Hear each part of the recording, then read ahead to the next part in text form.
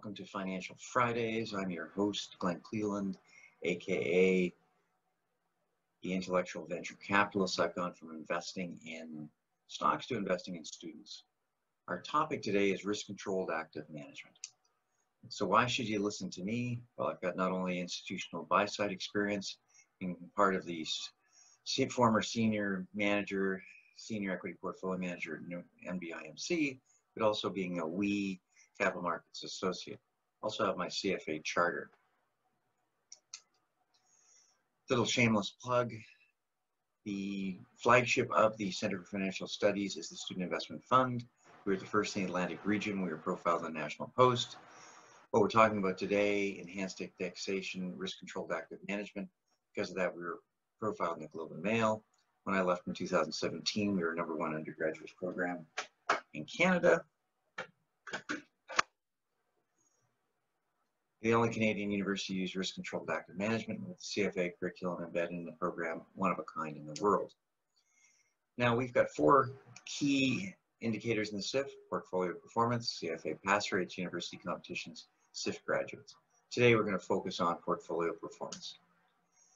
Now the NBIMC hired the Student Investment Fund way back in 1998 under Canadian Balanced Fund mandate. Fancy name for investing in stocks and bonds more or less in Canada, although they were allowed to go 10% outside Canada. Our key benchmark weightings, 50% equities, 45% fixed income, 5% cash. Our benchmark was the TSX 60, and we could go plus or minus 5%, but we had to beat our benchmark by 80 basis points. There's a, a Scotia McLeod All Government Index for the bonds.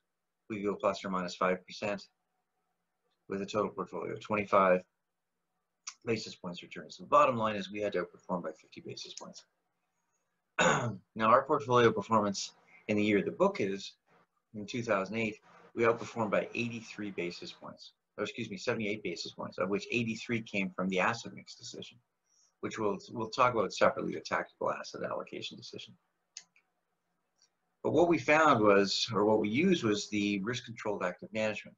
We actually had a student, MBA student, who did a thesis on the risk-controlled active management. His opening line was a comment from Bob Bertram, quote, what we've done what conventional wisdom suggests isn't possible, but portfolio theory says, deliver higher returns with lower risk. it was based on an article by Pension Benefits Canada, and it really promoted or forced us to think, how long will it take to discern if a manager can add value through skill? Now, in our case, because we're looking at Canadian fixed income and Canadian equity, the 25 to 50 basis points, according to statistics, it would take a minimum of 16 years to prove on the fixed income side, 17 years in Canadian equity. What's interesting is we're trying to get into other mandates the U.S. equity, just a 50 to 100 basis points, it would take 157 years. And really that's a, a show that it's such an a efficient market. There's no asymmetric advantage in information. On an international basis, not quite as bad. But what was interesting also in this article, it said, if you had a tracking error that was less than 2%, tracking error, what is your standard deviation compared to your benchmark? Over a 10 year period, if you have less than 2% tracking error, you have a 94% probability of outperforming or 6% probability of underperforming. And a key takeaway from this article is if you reduce your tracking error, this will increase the probability of success. And that's what we were using in this student investment fund program, risk controlled active management. So enhanced indexation. So you take a look at the first column, it's got indexing. Second one's active management. The third one's enhanced indexation. The point here, you don't expect any alpha or excess return over your portfolio. Your tracking error is almost none because it's the same as the benchmark, so you have no information ratio. The reason you hire active management, supposedly they're going to add expected alpha over your portfolio, benchmark return. But the tracking error, or how they get that return, oftentimes has a high tracking error, so your information ratio, expected alpha divided by tracking error is usually 0.5.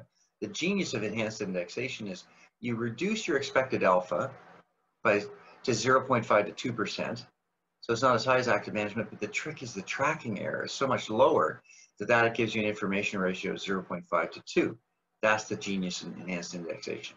So it's similar information ratio, but less risk with enhanced indexation.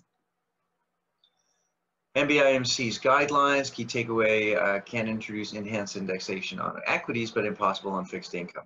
Why? Just because you got the TSX 60, so that's easy to replicate, but the SMAG had over 600 different fixed income holdings. So equity returns with bond-like volatility, that's the beauty of risk-controlled active management. We separated the enhanced indexation into beta neutral versus an alpha generator. The beta neutral, we tried to replicate the market by by buying a cash basket, fancy name for we bought all 60 stocks, the same weighting as it was in the benchmark, 60. And then we also bought ETFs, and so that was our beta portfolio. Not quite as sophisticated as NBIMC, who also use swaps and futures to replicate the market, but we didn't have that level of sophistication. The alpha portfolio, we went long a stock, short another stock, offsetting to give us our alpha portfolio. This was 15% of the portfolio we had a maximum of 15 positions, positions maximum 1% in each. Because what we found professionally was shorting by definition is the riskiest thing out there. So you want to reduce the size of the bet, but have a whole bunch of bets. So the Finance 101 Mythbuster.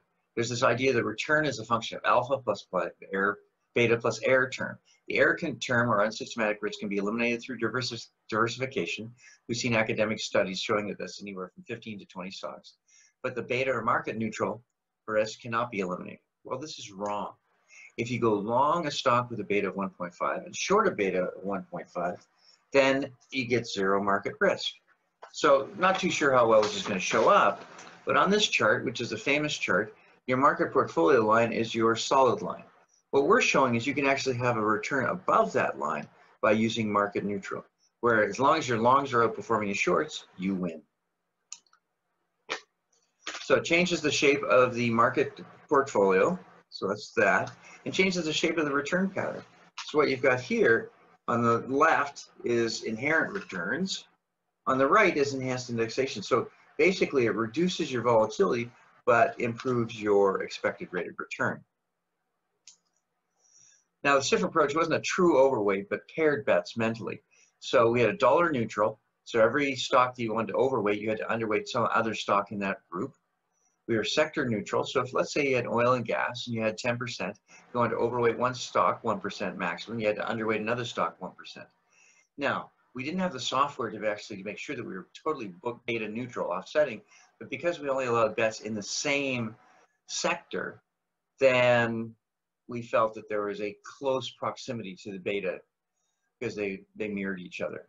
The size of the bets, we reduced the size of the bets because of the sheer risk of shorting.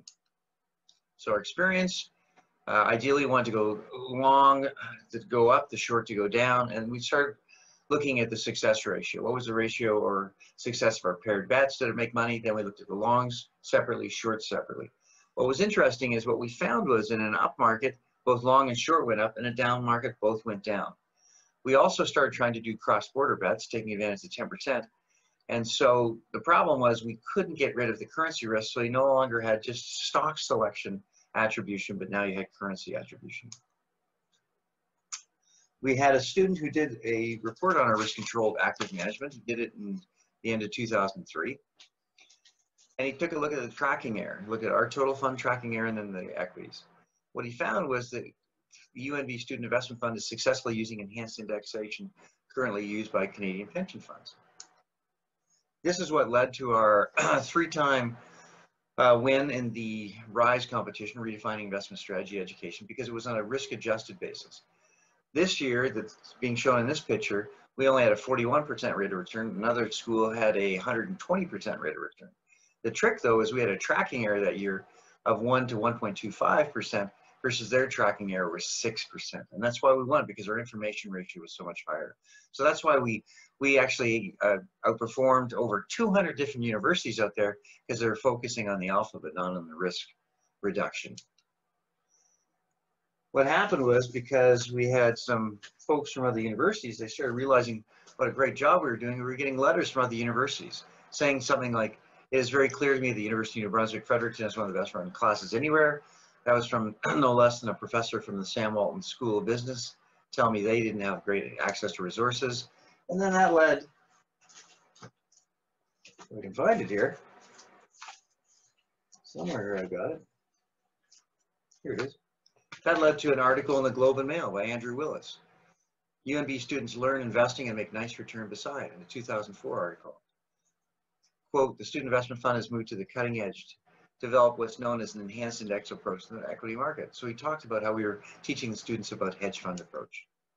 So bottom line is enhanced indexation provide equity returns with bond-like volatility.